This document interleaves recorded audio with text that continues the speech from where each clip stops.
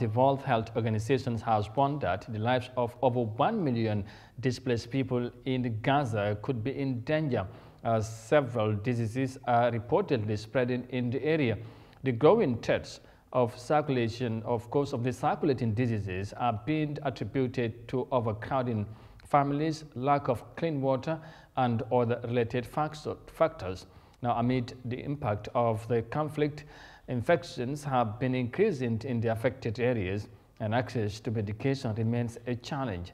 Here is more details of that in this report. The World Health Organization is warning of the risk of the spread of infectious diseases in Gaza, threatening the lives of some 1.5 million displaced people. The UN reports that an increasing number of people have been infected with various diseases, such as respiratory infections, diarrhea, dermatitis, and other diseases related to lack of safe water and hygiene facilities. As you can see, the waste is everywhere. We even suffer from the lack of food and clothes for our children this winter. All of us here in the Gaza Strip suffer because of these difficult conditions, which lead to the spread of disease and epidemics and crowding of clinics with patients.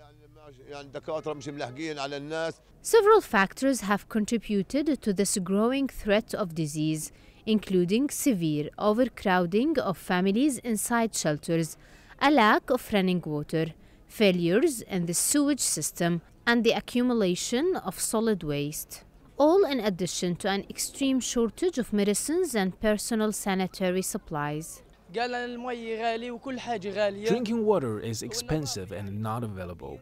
Everything here has become expensive, and we cannot find the minimum level of cleanliness. Here we are in the school, very crowded like a flock. Yesterday there was heavy rain that drowned our tents and our belongings. The water collected here, as you can see, because there are no longer sewage lines working, and this is the cause of diseases.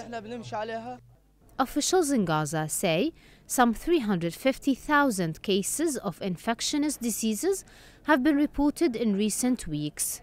The spokesperson for the Al Aqsa Martyrs Hospital says the spike in the infections is compounding the facility's overcrowding issue, impacting children especially. Due to the increase in the number of displaced people and the lack of safe drinking water, epidemics and diseases such as intestinal infections and vision infections are spreading among them.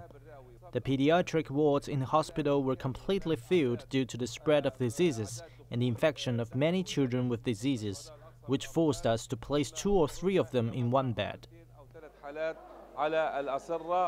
The onset of the rainy season and the possibility of floods have increased fears of overburdening the sewage network in the besieged strip.